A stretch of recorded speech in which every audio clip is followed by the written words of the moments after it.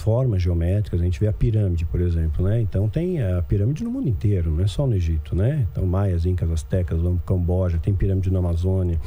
Então é, é uma forma geométrica que é um catalisador de energia. Acharam alguma pirâmide na Amazônia? Tem, tem pirâmide na Amazônia. Hitler descobriu isso. Hitler é, é muito safo. Hitler ele fez uma pesquisa de campo muito boa. Tem pirâmides na Amazônia e não deixam chegar perto, não. Tem um vídeo meu até que eu falo sobre isso. Não deixam chegar. Pirâmide no estilo das, dos, dos astecas, dos Do estilo asteca, é. escalonada, é. mas não se chega lá. Já você... tentaram, já teve pesquisador. Tem, tem documentários na Netflix sobre isso. Teve pesquisadores, fotógrafos, tentaram chegar lá, foram assassinados, não chega lá. Né? Tem alguma coisa lá que. É, é, um, é, um, tipo de um portal, você acha? É, tipo, um, tipo um portal. Eu acho que tá, tá interligado com as outras pirâmides do mundo. É como se fosse um, um entre aspas, um chip de computador, né? Uma, é, rede. uma rede de computador e vai ser acionado ali. Acho que começa ali, aquilo ali para abrir um, um portal dimensional para algumas entidades entrarem aqui, né? Porque elas estão presas em outras camadas dimensionais. Então, no momento certo, acho que essas coisas que tem uma membrana que divide o reino espiritual e uma, uma isso o reino é, material, né, o, aqui da gente com o espiritual.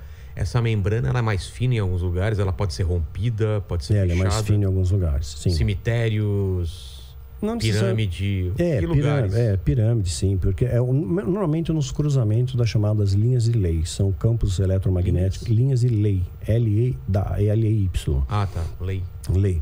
Então, existem campos é, energéticos na, na, Terra que fazem simbiose muitas vezes com o nosso corpo. É o que a gente chamaria de chakra. Né? Então, a, pegar um exemplo disso. A, Terra, o nosso planeta, ele vibra numa ressonância. Foi descoberta isso por um cientista há anos atrás, da década de 50, é, que ele batizou de ressonância Schumann.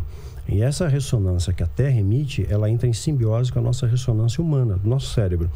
E agora essa ressonância sofreu uma alteração. Isso é fato, é ciência, não é teoria de conspiração. Já conversei até com uma física é, quântica e ela é, assim é, validou isso. Então essa ressonância foi alterada em função até do homem degradar a natureza e tudo mais. E hoje nós temos uma percepção temporal diferente do tempo real. O dia para gente, a nossa, é, continua tendo 24 horas, né? 23 horas, 56 minutos e 4 segundos para ser exato. Mas é, a nossa percepção do tempo mudou. Para a gente, o dia tem 16 horas. Né? Parece que passa mais rápido. É a nossa percepção temporal em relação à frequência Schumann. Então, tem muita coisa interessante acontecendo por aí.